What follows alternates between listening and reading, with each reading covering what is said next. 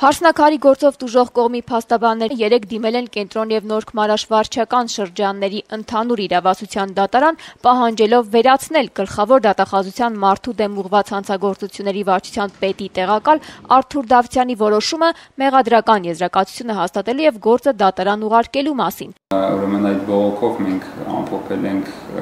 նախաքննության ընթացքում տեղ գտած բոլոր խախտումների ու բաց թողումները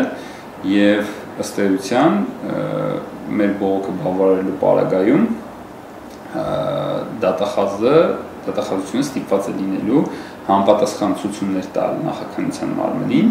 վերացնելու այդ թերությունները նախաքննության ընթացքում։ Հիշեցնեմ, նախաքննության ընթացքում փաստաբանները ներկայացրել էին միջնորդություններ, որոնք մերժվել էին։ Մերժված միջնորդությունները վերաբերում էին հարսնակարի տարածքում տեղի ունեցած ծեծի տեսաձայնագրության անհետացման հետ կապված մի շարք հարցեր բարձելուն, Ռուբեն Հայրապետյանին որպես կասկածյալ ներգրավելուն եւ նրա հերախոսային խոսակցությունների վերծանումների միջոցով հանցակցության հարցը բարձելուն։ Դուժող կողմի փաստաբանները նաեւ միջնորդել էին հստակեցնել, թե ով եւ ինչ եղանակով է Վահե Ավետյանին հասցրել մահացու վնասվածքներ։ Նախաքննական մարմինը մերժել է նաեւ դուժող կողմի միջնորդությունները կենսաբանական, ինչպես նաեւ կրկնակի հանձնաժողովային ժողովային փորձաքննություն նշանակելու կապակցությամբ։ Հիմա փաստորեն ոստիկանությունից, դատախազությունից դժգոհող փաստաբանները դիմելով դատարան ակնկալում են, որ կվերացվեն նախաքննության ժամանակ թույլ տրված իրավախախտումները, իսկ ինչ ազդեցություն կարող է ունենալ փաստաբանների բողոքի կապակցությամբ կենտրոնի դատարանի որոշումը Ավան եւ Նոր Նորք վարչական շրջանների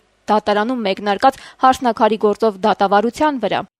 կենտրոնն եւ նոր մարաշնթաներովասյան դատարանը վարույթ ընդունելով մեր բողոքը քննելու է դատախազի որոշման օրինականությունը եւ եթե դատաքննության արդյունքում գա եզրա եզրահանգման, որ այդ որոշումը օրինական չէ, ապա վերացնելու է այն։ Վերացնելու հետևանքն այն է, որ այդ որոշմամբ գործը, որը ուղարկվել էր Ավանի դատարան եւ այժմ այնտեղ դատավարությունը նախապատրաստական փուլում է, պետք է կասեցվի։ Հիշեցնեմ, հարսնակարի գործով Ավան եւ նոր-նոր համայնքների դատարանում տեղի է ունեցել երկու դատական նիստ։ Հաջորդ նիստը նշանակված է վաղը